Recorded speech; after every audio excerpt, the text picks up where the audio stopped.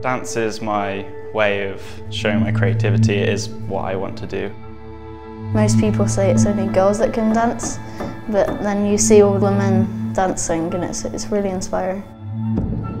What I've heard from my mum is females do the dancing, the men do the choreography. So a all-male group is really a new thing. Having male dance teachers is a really positive way of filling a bit of a void in the industry. It's almost like a type of therapy. It does a lot for my mood because kind of have uh, anger problems. Helps me calm down and things. This is what I want to be doing and it's, it's a good feeling. Tamsin Fitzgerald first started Two Faced Dance to try and provide opportunities for boys in dance. It's a statement of using their strength and power and showing that boys can be graceful too.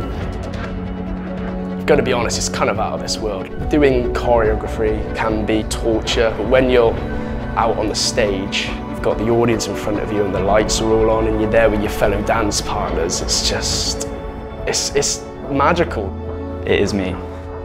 I really, really enjoy dancing. It's nice to say that I go to Two Faced, they're in Hereford and I'm from Hereford, so it's something that I can be proud of.